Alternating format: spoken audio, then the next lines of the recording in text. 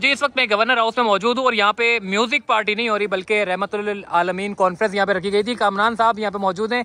Governor Singh साहब, ये क्या करने जा रहे हैं आप आज तक की तारीख में?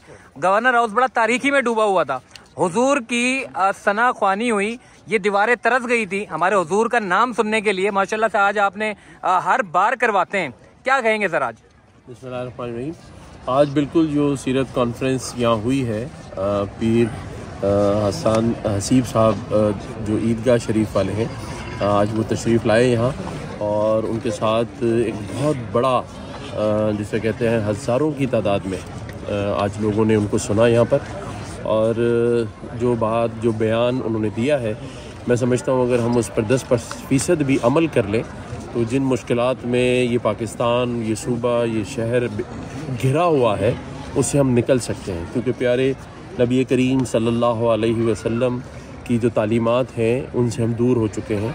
और हम एक दूसरे को नीचे दिखाने और पीछे दिखाने की और नफसा नफसी की उस हद को पार कर चुके हैं कि जहाँ आज पूरा मुल्क भी आईएमएफ की तरफ़ खड़ा है और ये शहर, जो मीशत का शहर पाकिस्तान का दिल कहलाता था, आज वो गरीब हो गया है। यहाँ रोड रास्ते टूटे पड़े हैं लोगों के दिलों की तरह। और लोग बेरोज़गार हो गए हैं और हर आदमी जो साहिब हैसियत है, वो भी परेशान है और जो बेरोज़गार है, वो भी परेशान है। तो मैं समझता हूँ आज इस, जो दुआ पाकिस्तान के लिए की गई है अल्लाह ताला उसे कबूल करे और हजूर के सदक़े इस सूबे, इस मुल्क की जो मुश्किल हैं, जो माली परेशानियाँ हैं और जो लोग बदहाली का शिकार हैं और जिस तरह से मसाइल में घिरा हुआ ये पाकिस्तान और ये शहर ख़ास तौर पर क्योंकि मैं हमेशा इस शहर का ज़िक्र इसलिए करता हूँ वैसे तो मैं सूबे का अल्लाह ताला ने मुझे ये मरतबा दिया, लेकिन ये शहर जो पाकिस्तान का दिल है, ये शहर जो मीशत का गढ़ है, आज अगर वो टूट फूट गया है और गरीब हो रहा है तो अल्लाह ताला फिर पाकिस्तान की हिफाजत करे। सर आप तो बड़े सादे से इंसान हैं। वो सिक्योरिटी वालों के लिए बड़ा मसला हो जाता है। हज़ारों लोगों को आपने गवर्नर हाउस में बुला लिया। या एक बंदे के लिए बड़ी मुश्किल होती थी गवर्नर हाउस में एंट्री होना। आप हज़ारों लोगों को बुला रहे हो वो चौको चौबंद हो गए सारे दस्ते कोई आगे आता है वो बेचारे उनके लिए मुसीबत बन जाती है। आपके लिए तो कोई मुसीबत नहीं है। आप तो बोलते हैं आने तो जितने लोग आ रहे हैं।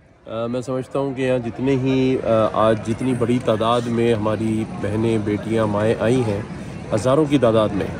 और जिस तरह हमारे भाई और नौजवान यहाँ आए हैं तो ये भी पहली बार शायद हुआ है कि सबके हाथों में अपने अपने मोबाइल हैं। और ये मैंने हिदायत की थी कि किसी का मोबाइल ना रखा जाए इज़्ज़त नफ्स किसी की मजरू ना की जाए। और अल्लाह ताला हिफाजत करने वाला है, हम तो हिफाजत करते हैं और हथेली पे जान सर, एक आखिरी सवाल मैं करूँगा। जावेद निहारी पे आप चले गए, बुलान सज्जी पे आप चले गए, हर जगह आप चले गए। बाद में आपको फ़ूड पॉइजन हो गया, आप बीमार हो गए। सर, इतना क्यों आप बाहर के खाना खा रहे हैं जाके? देखिए वो जो कहते हैं ना कि जब ऊपर वाला बचा ले या बचाना चाहे तो नीचे वाला लाख कुछ कर ले, कुछ नहीं होता। तो अल्लाह ताला की ज़ात मौजूद है।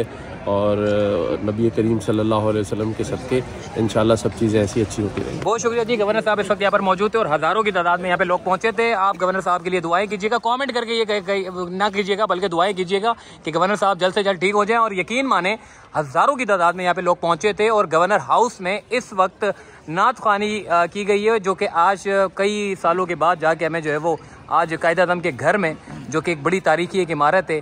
इस तारीखी इमारत में जो है वो इस तरह का प्रोग्राम मुनद होना यकीन खुशाइन बात है। अपना ख्याल रखिएगा, फिर मुलाकात होगी। अल्लाह हाफिज़।